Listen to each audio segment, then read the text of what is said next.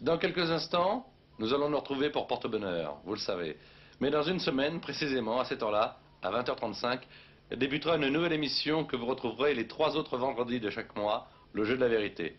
Et le 11 janvier, vendredi prochain, ce sera Alain Delon qui se prêtera à ce jeu de la vérité et vous pourrez lui poser toutes les questions que vous désirez. Je vous souhaite une bonne soirée sur TF1. En fait, on la passe ensemble. Alors à tout de suite.